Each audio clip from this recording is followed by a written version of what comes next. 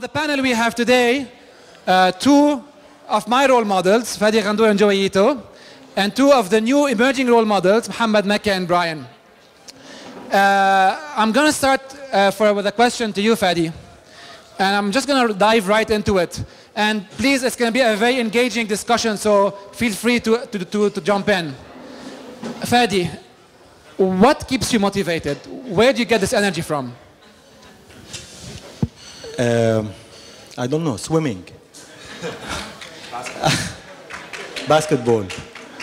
Uh, what keeps me motivated? Uh, I don't know really. I'm, I'm, I'm just passionate about, uh, I mean, since we're talking entrepreneurship here, obviously, uh, I, I um, being an entrepreneur, having gone through the process of uh, building a business and knowing how difficult it is to actually build a business, I uh, developed a passion for supporting entrepreneurs and for uh, helping people establish their businesses. And uh, uh, I, I've, mentorship, for instance, is, is a value that I had valued uh, uh, personally tremendously. I, it was lacking in the early days of my establishment of the business, so I, I understand how much, how much more how important uh, mentorship is and much more important than actual uh, uh, capital or, or, money. So I mean this it's, it's just it's just I mean a simple process of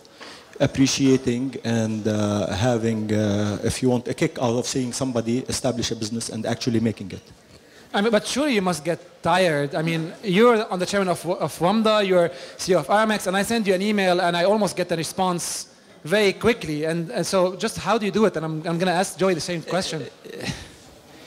You just work long hours. So hard work.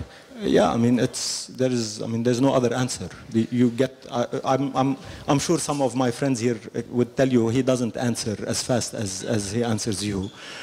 but that's because you are you. So, uh, but I try to get, yes, I mean, I am practically working uh, 16 hours a day.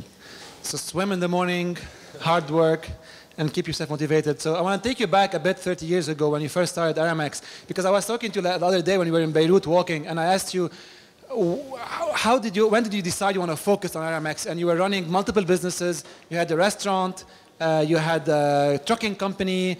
So tell us a bit about the schizophrenic entrepreneurship life and when did you start to focus? So I actually, uh, believe it or not, started three businesses exactly at the same time, four businesses uh, exactly at the same time as I was starting Aramex. Uh, I had, um, uh, you know, Aramex took the most time, but I, we started uh, a few, a couple of years later, a fast food restaurant in Jordan doing pizzas and I actually worked in the kitchen at lunchtime and in the evenings.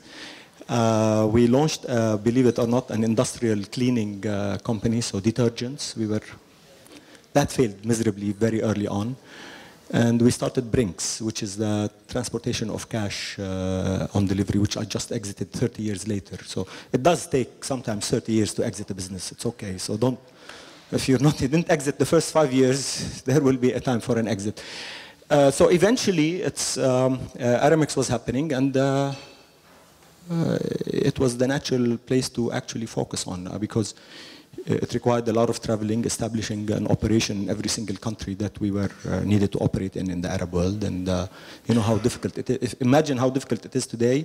It was a hundred times more difficult to establish a business anywhere in the Arab world 30 years ago. So uh, legal structures were practically impossible without finding a local partner, a local sponsor all these media cities and special economic zones did not exist until maybe, I don't know, 10 years ago. So uh, it, wasn't, it wasn't easy. It was really hard, uh, uh, hard work. It was putting your legs on the ground and going and knocking on doors and finding partners and finding people that are interested to, uh, to actually believe in a small business. Our biggest challenge in the very early days in Aramex is you would go to somebody who, um, who you wanted to partner with in, in a country in the region and they tell you, you, you know, DHL is here. Why should we do business with you? You're, I mean, it's so you. That was that was just knocking on doors, knocking on doors until one opens, which is still the same thing today. So I mean, it's yeah. So the challenges still exist today, much lighter, which means you know, instead of less complaining and more doing is, is the message, and more action, more, more, more aggressive Complaining execution. is a waste of time. So the more you complain, the more time you're wasting from actually doing your, your, your business. Great. So I'm going to move to Joi, and building on, on Fadi found the time when he needed to focus on Aramex. In your case, and it's something you talk, you talk a lot about, this power of pull. And in, in your various points of life, you were able to build something very quickly and execute very fast in an agile way by, by building on resources. You've put yourself in a position where you can basically execute on almost practically everything for someone who's a two college dropout, two times dropout, leading the best lab in the world. It's kind of ironic, but you've done it with your group of friends. Tell us more about the power of pull and how you've used it in your life. Okay, so the idea behind Power of Pull is it's, it comes from a book by John Seely Brown who ran Xerox PARC. but the idea is in the old days, when things were more about capital and things, you would stock, you know, intellectual property, money, people, and centrally command it like a typical traditional war, you know. And, um, and there were like smart people in R&D and smart people in management. And now that we have massive change, um, unpredictability, complexity. First of all, the people in the top don't usually know what's going on. And secondly, what you think are assets, like money and people and lines of code, are actually liabilities to agility. So the more stuff you have, the slower you can pivot. And that's why entrepreneurs actually have a lot of advantage over big companies because you can, you can shift course. You can change your product without having to fire a thousand people or to flush a hundred patents down the toilet. So, so that's one piece. And the power of pull is really, instead of learning a computer language 10 years before you're going to use it, learn it, pick the best language that you need right now because actually the languages are easier to learn. Innovation is cheaper now, so you don't have to stock a bunch of money to try something. The minimum viable product is so cheap that you might as well start thinking about it after you need it.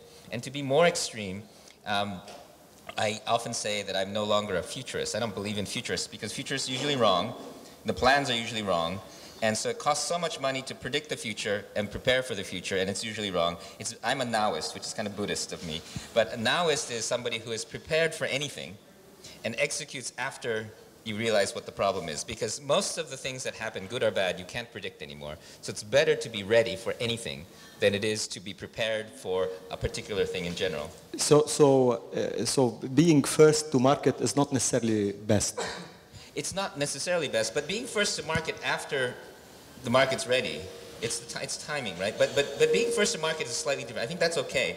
I think winner takes all and first to market is a huge advantage. But, but what I mean is like in Japan, we prepared for the earthquake.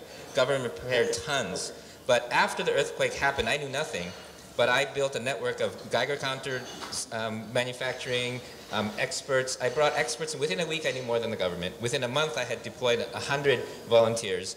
And a year and a half later, we have the biggest data set in the world of open data, and it's, it's a huge movement. And, and we killed the government's plans with no money within weeks, and all of the government stuff failed, and they had spent billions on, on planning and, and, and, and all that. So to me, power of pull is, is uh, having the agility to move. And, and this is what, you know, if nothing else, that's what we have as entrepreneurs, right? And so, so that, that and agility is really important. So to, to, to talk about like just specifically about product, I mean, even if you have weekly product meetings, the entrepreneur, the, the engineers will cry when you say, I'm going to dump the code, we're going to go this way. Imagine if you're a big company and you spent three years deploying something. I mean, YouTube was a dating site with video when it launched in 2005, and it didn't work, and they pivoted very quickly because this a dating site with video isn't working. But if it were a big company and they spent three years doing it, they said, let's try a little longer, let's try a little longer, and it would have sucked for a long time and they would have cost a lot of money. So, so the power pull is really kind of pull the resources as you need it and be very agile. So five-year projection plan, dump those for startups. Doesn't So- work. So, when I look at an entrepreneur, I'm, I do care about the trajectory, where are they headed, but the specific plan, I know, like there's no company that's been successful, except maybe Amazon, that looks anything like when it started, right? YouTube was a dating site for video. Um, uh, you know, Fa- PayPal was a mobile app. Um, Facebook was a, a- a dating site for college students. You know, it's, it's, it's somewhat similar, but you know, but it's not a dating site, but it's related to that problem, right? Um, but but it- but they all move a lot, and so what you want to figure out is uh, is this entrepreneur capable of a wide variety of pivots? Do they have the scrappiness and the ability to pull the stuff that they need and get rid of the stuff that they don't need?